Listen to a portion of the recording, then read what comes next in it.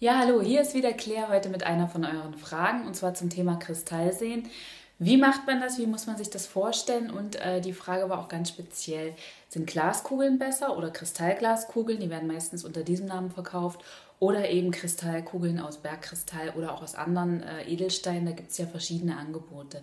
Ich hatte schon ein bisschen dazu geschrieben, jetzt machen wir nochmal Schleichwerbung hier, äh, und zwar in äh, Die Magie der Hexen in meinem Buch. So sah es von U-Books aus. Mittlerweile ist es überarbeitet bei Heine nochmal rausgekommen. Mit diesem hübschen Baum vorne drauf. Also da findet ihr noch mehr Infos zum Thema. An und für sich äh, hat jedes so seine Vorzüge. Es kommt darauf an. Ja? Die große Kristallkugel ist natürlich so das Klassische, was man kennt. Ja, das ist äh, aus Film und Fernsehen.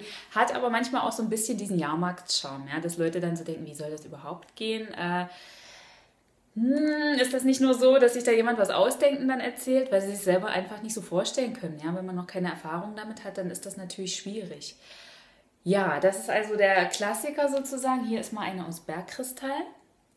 Die ist dann, sieht ein bisschen anders aus. Äh, das ist dann das Naturmaterial. Ich persönlich bevorzuge das Naturmaterial, ganz klar. Das hat auch praktische Gründe. Diese vielen Einschlüsse, die hier drin sind, machen es bedeutend leichter, dass man sich ähm, versenkt, dass man so ähm, ruhig und still und aufnahmefähig wird.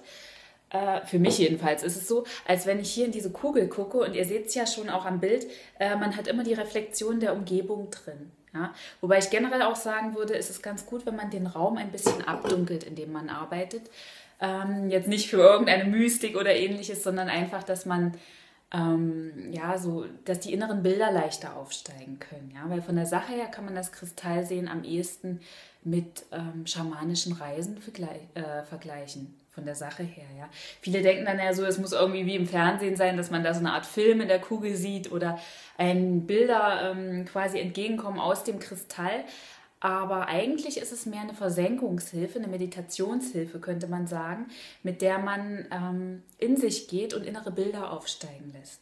Ja, also ich hatte es auch mal mit einer Kundin, die auch sich selber mit schamanischen Reisen befasst hat und wir hatten dann dasselbe Bild. Also ich habe ihr ein Bild beschrieben, das ich für sie in der Kugel gesehen habe. Und sie meinte so, genau das habe ich in der schamanischen Reise selber schon gesehen.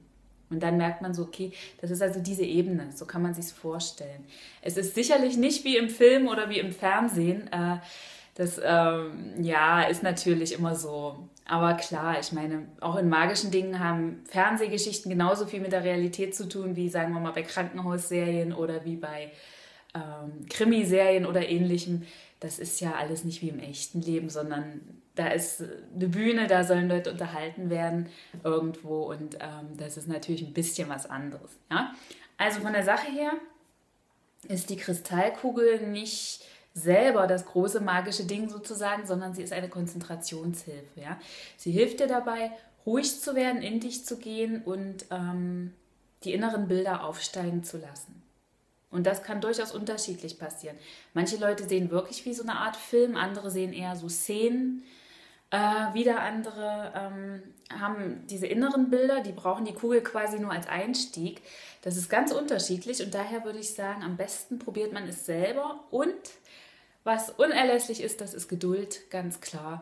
Das gehört nun wirklich nicht zu den Orakelmethoden, die du heute oder morgen ganz schnell, schnell im äh, Schnellverfahren quasi da erlernen kannst das braucht seine Zeit und das ist auch gut so, weil da wächst man so mit der Zeit rein und das entwickelt sich und ähm, ja, so soll es ja auch sein. Ja. Auf der anderen Seite sollte man es aber auch nicht zu verkopft machen. Es gibt ja dann auch Bücher teilweise, wo das wie so eine Art ähm, Schritt für Schritt Kurs quasi erklärt wird.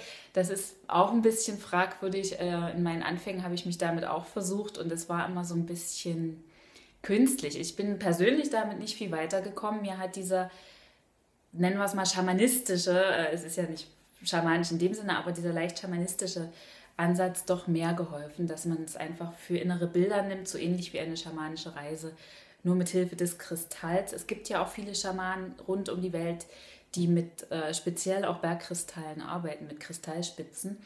Und so gesehen hat man da ähm, letztendlich so einen alten Wissensstrang, an den man damit anknüpft in gewisser Weise. Ja?